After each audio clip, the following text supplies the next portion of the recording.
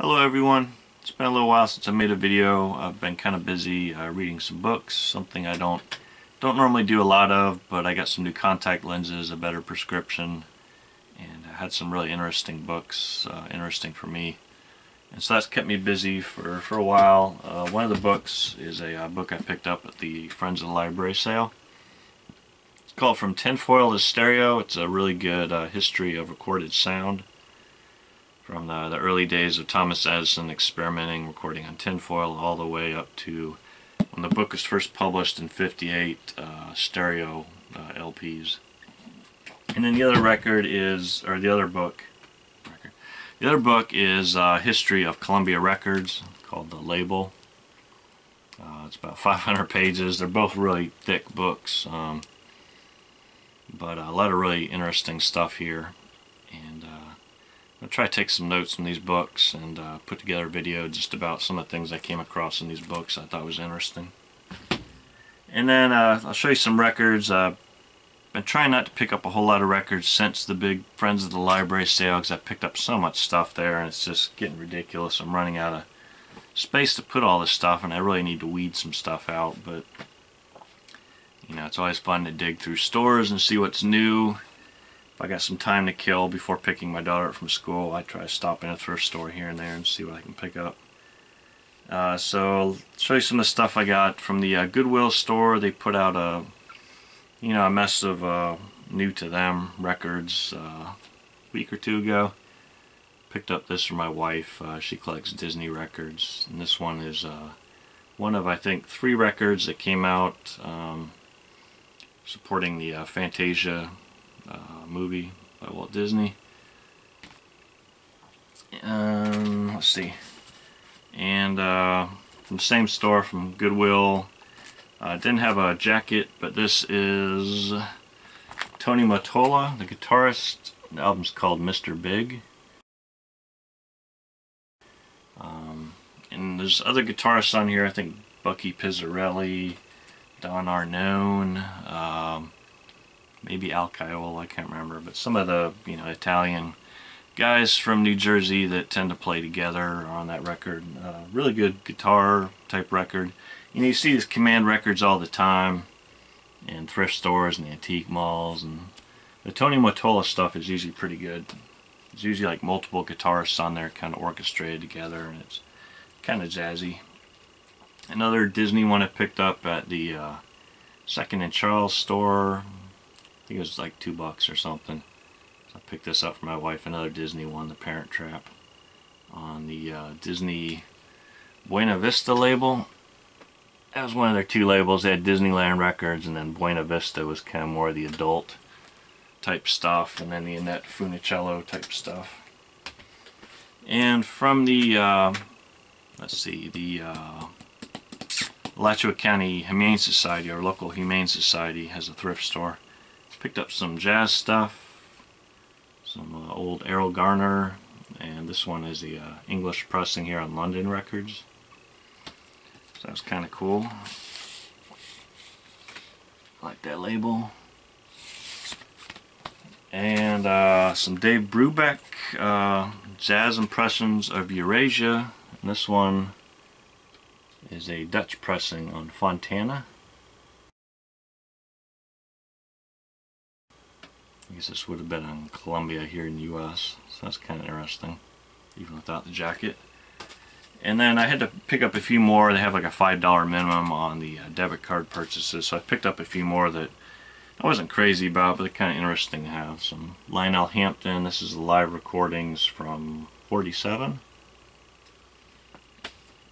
And uh, this one on Spinorama. Kind of generic looking, but these are live recordings from 1961 on Malibu Beach.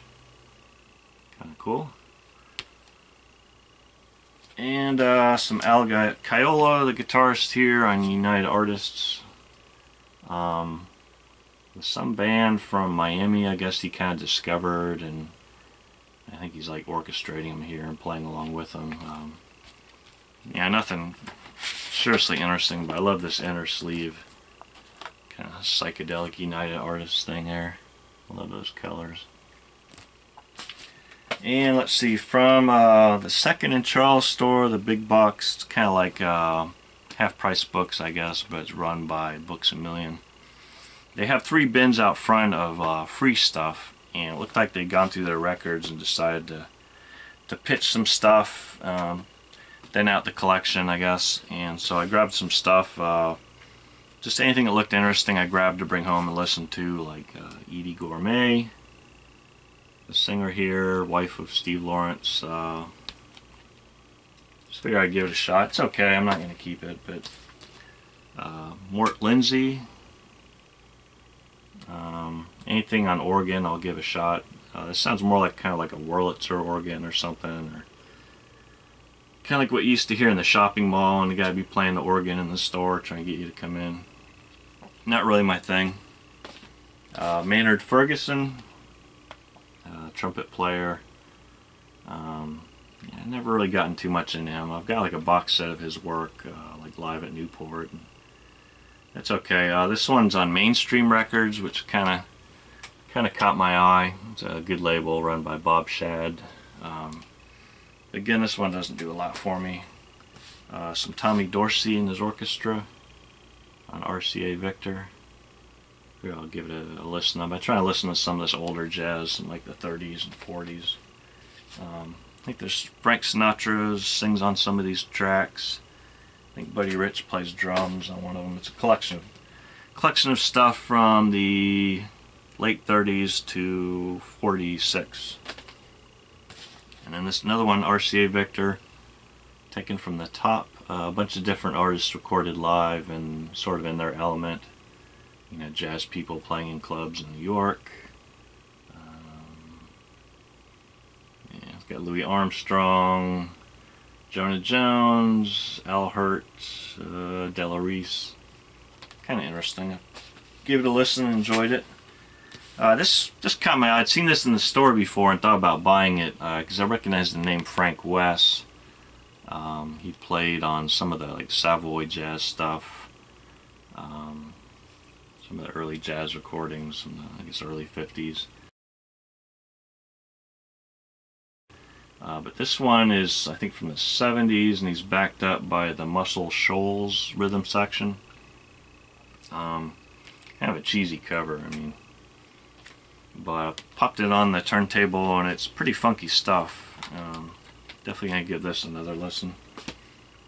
Some uh, RCA Living Stereo release. Uh, you know, if these things sound kind of anything interesting, they're not like the Melachrino strings or something really sappy. I'll pick them up. Uh, Del Wood was a, uh, let's see, she was kind of like a, is the queen of the ragtime piano played at the Grand Ole Opry. This one was produced by Chet Atkins.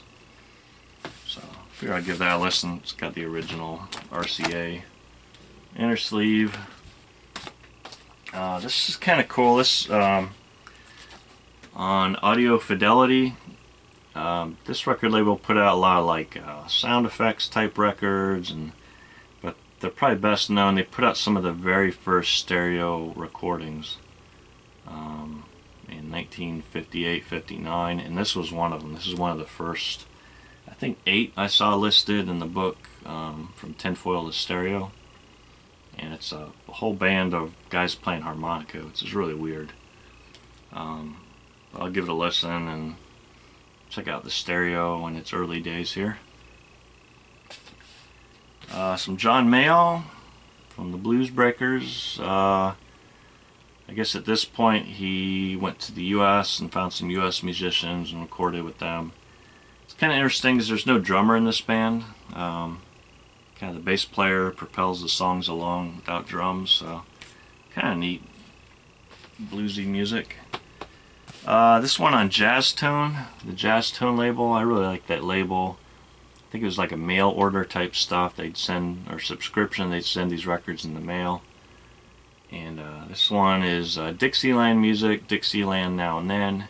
So the idea is on one side of the record you have kind of the traditional Dixieland music, jazz.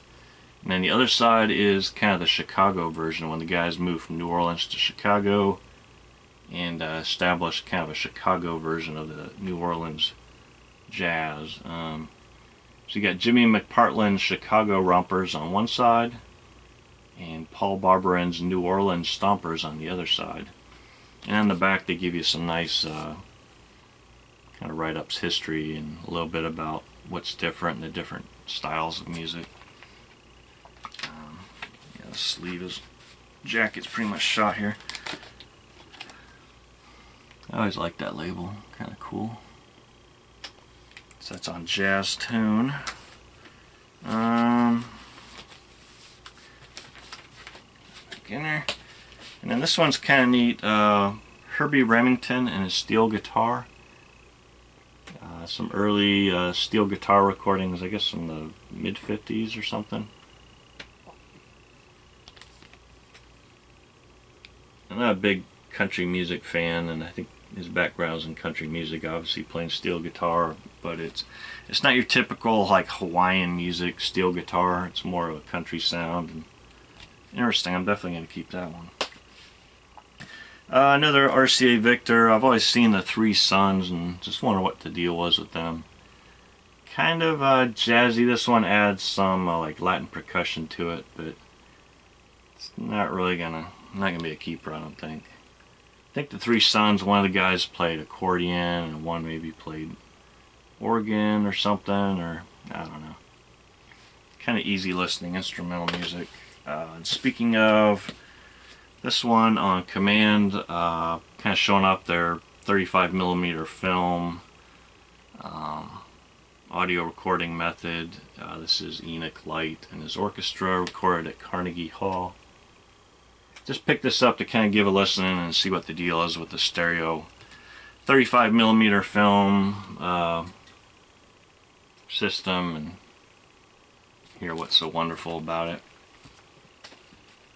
Uh, this was kind of cool. Um, I have another copy with the same name. This is on Crown Records, kind of a budget label out of Los Angeles. Uh, Way Out Wardell. This is Wardell Gray, the uh, sax player. Um, this one's a little version, a little different than the other version I have. This one has some tracks with uh, Buddy Collette on it, um, and you can't really see it. I don't think you can see it at least. But there's a lot of like little, uh, look almost like bubbles in this vinyl. And that's, I've seen this, I saw this in the store before when it was like two bucks and passed on it. Because it looked like it'd be a real uh, stylus killer on the turntable. But actually when I cleaned it up and popped it on the turntable, you don't hear any of that stuff. You don't hear those little bubbles. It's really weird. And it actually sounds pretty good. Uh, this one I saw in the store you know, and had like two, three bucks on it and passed on it. But it looked kind of interesting. I was always curious about it. And it's actually pretty good, uh, you know, despite the acoustic guitar on the cover. It's uh, electric guitar, uh, kind of jazzy. Um, not really big names, Joe Sgro, S-G-R-O. Uh, but he was a cousin, a cousin of uh, Joe Venuti, the uh, jazz violin player who played in Paul Whiteman's band and uh, I guess was like a teacher as well. Hadn't really heard any of these guys, but it's nice, kind of laid back, uh, smoky, you know, what do they call it, uh, music for an after hours mood, and that pretty much describes it. Nice, kind of smoky jazz guitar. Uh, some Duane Eddy, twisting and twanging. Figured I'd give it a shot for free. This uh, this one was kind of interesting. It's um, a band called Crossfire Choir. Looked like an 80s new wave band. That's what they are. They came out of South Florida and moved to New York and were discovered, you know, playing around like kind of CBGB scene. And apparently courted by several labels and signed with Geffen Records. He made all kinds of promises. They'll make them, make them big and all this. They recorded this album with Steve Lillywhite which is actually what caught my eye. Yeah, I don't really pick up stuff I don't know, but I saw his name, so I picked it up. This is a five-track uh, kind of radio promo, but this is on Passport. What happened is they recorded this album with Steve Lillywhite. Geffen kind of said, we don't hear a hit single or anything. They sat on it. They re-recorded some tracks. There's another producer on here, Stephen Galfas. And uh, they sat on it and sat on it, and finally they managed with a lawyer, I guess, to break free of Geffen and release the record on Passport a couple years later. Um, sounds okay. I'll give it give it a few listens. Uh, definitely new wavy kind of sound from the mid 80s. David Liebman, the uh, sax player. This one on A&M Horizon. I picked up another album by him uh, about six months ago on the same label. It's really good. And this one's basically him and this guy, uh, Pee Wee Ellis, who's a sax player, electric piano player. Um, and I guess he's, yeah, he does play electric piano. Uh, gold stamp promo, kind of fusiony jazz stuff. Um, a lot better than you'd guess from the kind of cheesy cover there. He played with Miles Davis um, in his electric, Miles's electric period early on. But he's done some stuff on ECM as well. Uh, David Liebman and Richie Beirach. Duo stuff. Uh, some kind of classical um, bolero, Ravel's bolero. One side, hmm, excuse me, one side of the record is uh, Bernstein conducting bolero, I guess Leonard Bernstein, but the other side is bolero on the mighty Moog so Moog synthesizer stuff, kind of cool. And that's on uh, Columbia Masterworks, yeah. And then, uh, of course, I had to pick these up. They were free. Uh, Chet Atkins on RCA Camden. Uh, usually, RCA Camden was like their their uh, their budget budget line, but I guess this one and uh, Another one here, Chet Atkins and his guitar. They originally came out on the Camden label. So these aren't really repressings, reissues. They're the originals and uh, the most popular guitar. Also on RCA. And another one on Camden. Music from Nashville, my hometown. So I'll throw those in the Chet collection. And uh, I grabbed this one just for the uh, the jacket uh, from Streetwise, kind of a hip-hop label, New York based with uh, the producer Arthur Baker.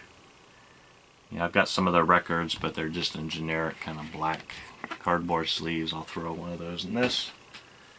And then from the uh, Habitat for Humanity thrift store, I picked up this record. I'd seen it before and kind of passed on it because it's it's Crown Records.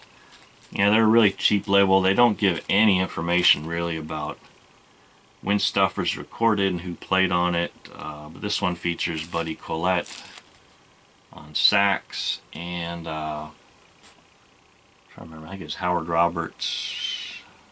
I think it was Howard Roberts on guitar. Um, kind of bossa nova type type jazzy stuff here, but pretty good. Um, pressing quality is not that great. Of course, it's it's Crown. Um, they got that really cheap generic looking label.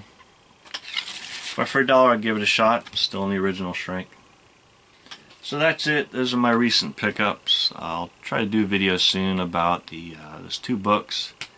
There's some pretty interesting stuff there, and it's kind of forced me to think differently about a lot of uh, a lot of stuff from the, the 40s and 50s I've seen around thrift stores and antique malls, and uh, also kind of interesting interesting things about how people reacted to the changes and the formats that uh, kind of echoes today and how people feel about CDs or reissued vinyl and all that. So thanks for watching and uh, I'll see you next time.